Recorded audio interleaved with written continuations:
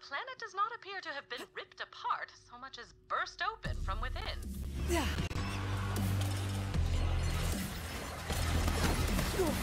Two hits. I